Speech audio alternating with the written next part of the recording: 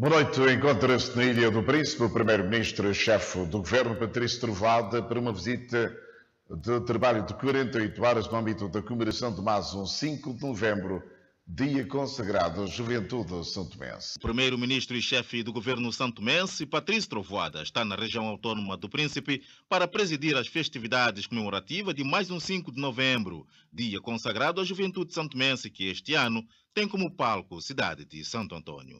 É um prazer estar cá com a juventude do Príncipe, uma juventude uh, com, com grande potencial. Eu sempre notei, sobretudo a nível uh, do setor educativo, que cá no Príncipe os jovens uh, têm uma grande vontade de aprender. já há muitos anos que temos notado isso.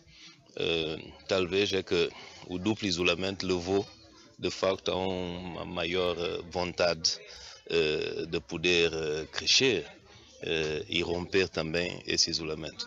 As condições hoje na região são, são melhores, mas os jovens têm ainda muitos desafios, nomeadamente os desafios do primeiro emprego e também aproveitamos para ver alguns empreendimentos turísticos que são investimentos importantes e que a prazo poderão resolver também o problema do, do desemprego na região autónoma. Por conseguinte, eu penso que essas datas uh, de festas são para ser festejadas, mas também são para nós refletirmos aquilo que nós podemos fazer mais e melhor em prol da nossa juventude. Chegou ainda no primeiro período do dia e aproveitou a ocasião para também tomar contato com algumas obras em curso, nomeadamente obras de requalificação de troços de estradas da cidade de Santo Antônio e da Roça Sundi, obras do governo central com o financiamento da União Europeia. As obras eh, estão a ir bem, tomando em consideração também uh, o fator climático, não é? Uh, tem chovido muito, não só em Santo Tomé, mas também aqui na região autónoma. Isso tem dificultado o andamento das obras. Uh, mas nós temos metas e eu penso que o mais importante é, embora a chuva, podemos cumprir com as metas, quer a nível da cidade de Santo Antônio, quer a nível aqui da estrada da Sundi. Uh, tivemos a colocar algumas perguntas, porque a preocupação, quer do governo regional, quer do governo central, é que as obras sejam bem feitas e correspondem à expectativa e às necessidades. Uh, as equipas técnicas uh, forneceram as respostas. Vamos acompanhar e continuar a acompanhar as obras. Eu estou convencido que dentro de mais alguns meses a região autónoma vai beneficiar de mais algumas eh, infraestruturas importantes. De visita à Roça Sundi, concretamente, ao empreendimento turístico ali existente, teve momentos para dois dedos de conversa com os moradores local. Conversa esta que teve como assento tônico questão do ressentimento da comunidade. Acho que as coisas vão correr bem, eh, mas é preciso acompanhar, é preciso ouvir as pessoas.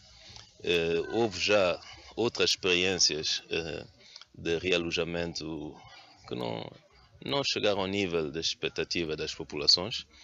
Eh, vamos ver se essa realmente corresponde para que eh, as pessoas já não tenham receio quando se trata de realojar. Porque quer Santo Tomé, quer Príncipe, o espaço é pequeno. Eh, nós sabemos que devemos dar prioridade ao investimento se nós queremos criar riqueza e criar emprego. Mas também a terra é nossa, é preciso termos cuidado eh, de conservarmos também o nosso bem-estar, a nossa identidade.